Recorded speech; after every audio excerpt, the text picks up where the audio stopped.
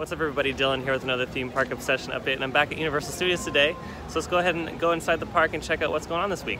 Alright, so we're not even gonna hesitate, we're just gonna go right into the construction and see what's going on here in the upper lot. You know, I still don't get why this is open. Oh my goodness, chair down.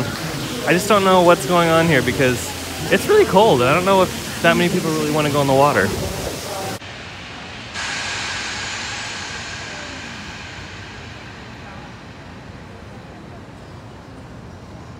Right, so you can see with this rumored Super Nintendo project, uh, uh, not too much has changed since the last video, but they are continuing to work on it, uh, which is really nice. That means they're working around the clock just to get this project up and going. And it looks like right now they're just laying some foundation work, some piping, uh, drilling some holes for you know the possible show buildings for the attractions. Um, but yeah, it's it's a pretty big space, and it looks like that's about as big as it's going to get slowly but surely they are moving along with this project. And uh, yeah, it's gonna be interesting to see what they do in the next couple weeks to see if we see some uh, structural steel go up for the big show buildings or if they just continue to do some foundation work. But yeah, I'll keep you guys updated. See how in Jurassic World they continue to enclose that big portion outside, which you can see right over there.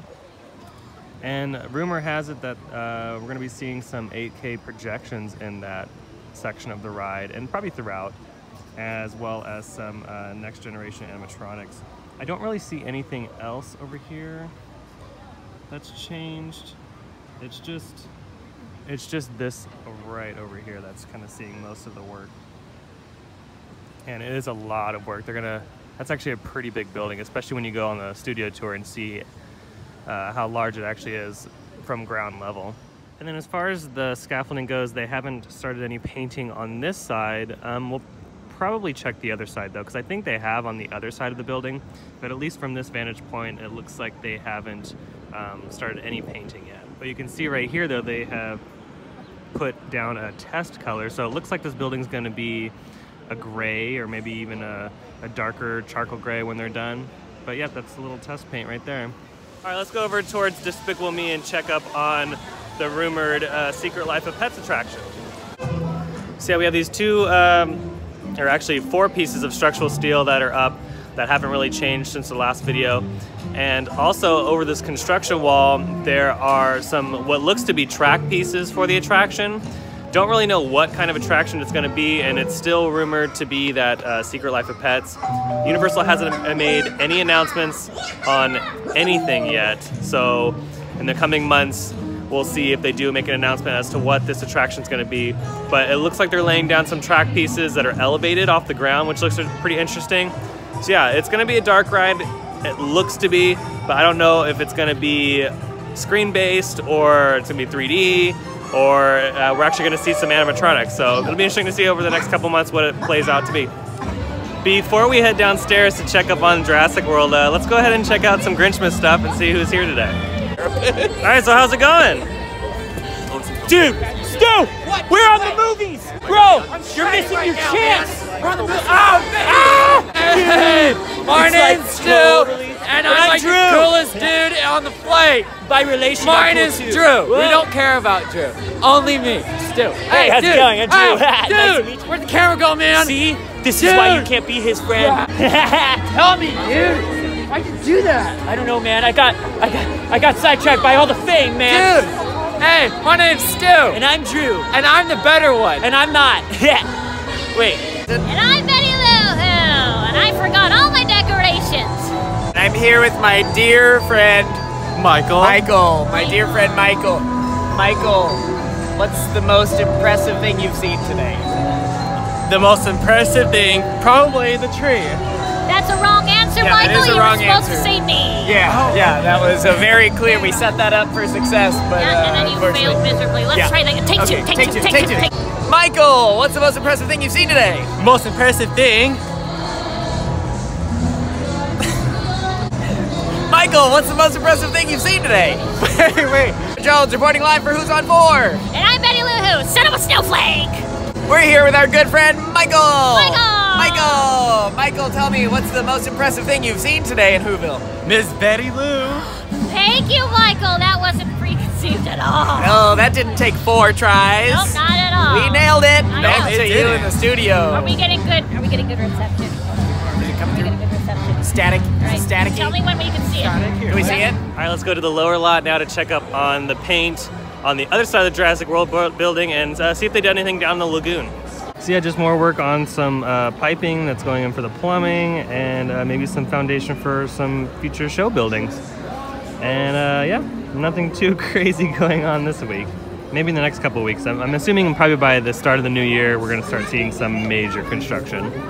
Now we have new paints on this side, and it looks to be that dark gray. Well, at least this, this is like a lighter gray over here, and then closer towards that drop uh, is like a more like a charcoal gray, like a dark gray. So more fitting towards the brand because the Jurassic World scheme is blue and gray. So yeah, it looks nice, and I'm sure they're not even close to being finished. They'll probably put like one more coat on it, and then call it a day.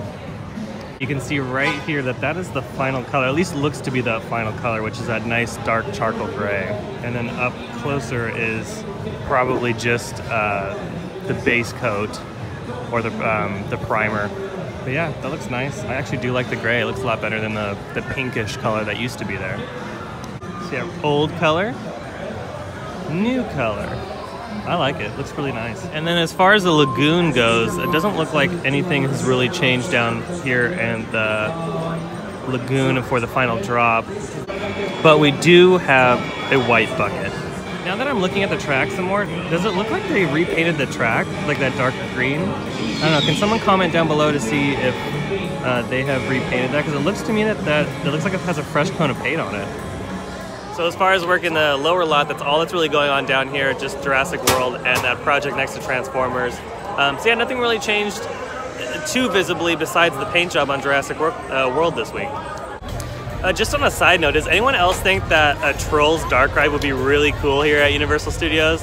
I've ever since the movie came out, I'm like that would make a perfect dark ride, and it'd be great for the kids. It'd be so colorful, and all those cool characters they would have in that ride. That'd be really really cool. Uh, they should do it. All right, so before Michael and I head over to City Walk to check up on the construction there, let's go ahead and get a different angle of that project that's going on right next to Walking Dead and Despicable Me. So yeah, you can see right there that looks to be some track pieces going in. There's a section over here on the left, and then over here on the right, there's a whole other section as well.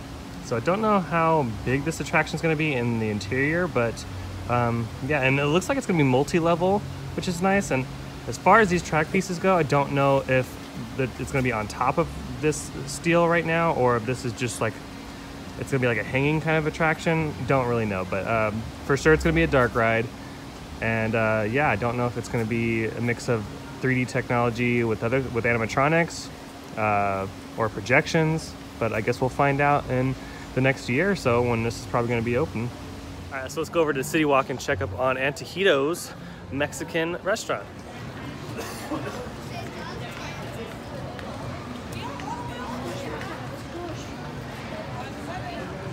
So it looks like they've covered uh, the top of the where the fountain is and all the, outside seating for the restaurant. And that's probably just because they're getting ready for paint. So it looks like they're really working hard on the interior.